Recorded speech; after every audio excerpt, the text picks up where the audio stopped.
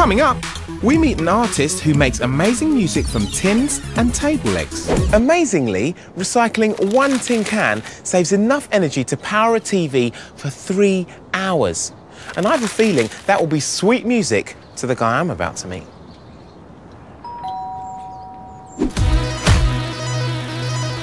Teddy plays in a band with his friends Lamar and Charlie.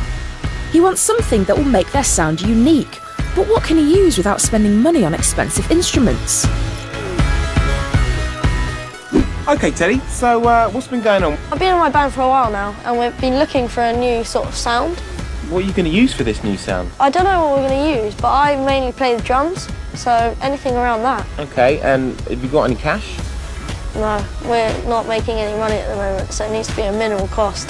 I think I know someone who's going to inspire us. Someone who makes new music out of old things. Check this out.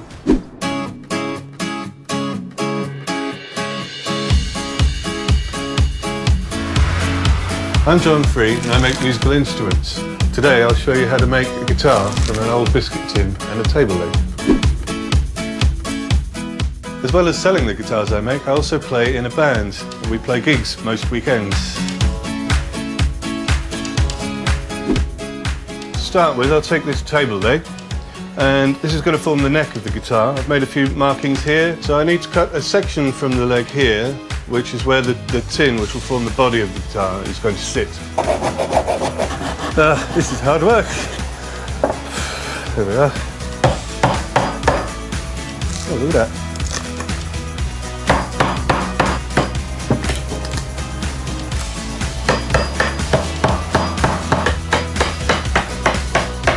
So I've roughly removed this section of wood from here and I'm going to reserve those bits of wood for use later on.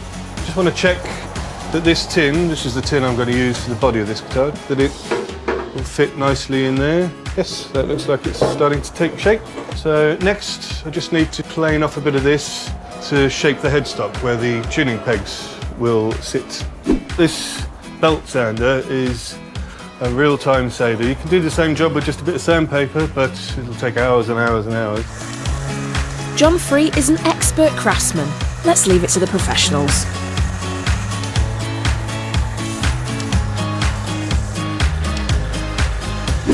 So there I've turned a discarded table leg into a what will be a guitar neck.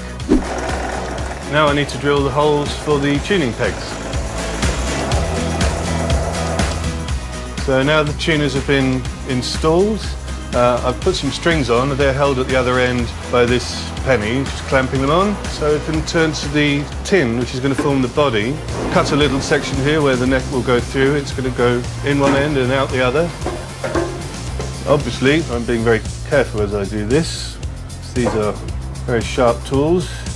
There's some very sharp edges of metal here.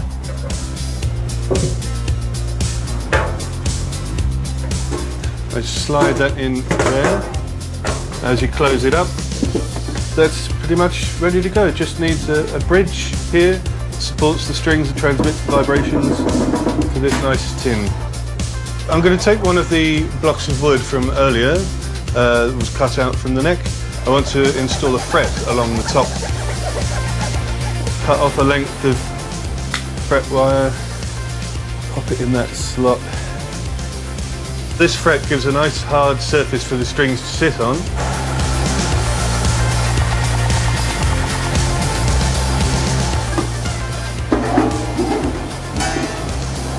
around there. You never know quite how they're going to sound. All tins sound different. Different sizes have different resonances, and this one, this one sounds like that. Don't be scared to try unusual objects. You just don't know what sound something might make. I didn't know a sea cabin trunk might make the same sound as a double bass until I'd tried it.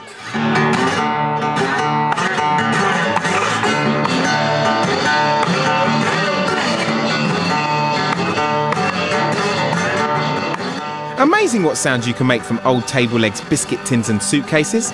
And a great way to get things started as we find a new sound for Teddy's band.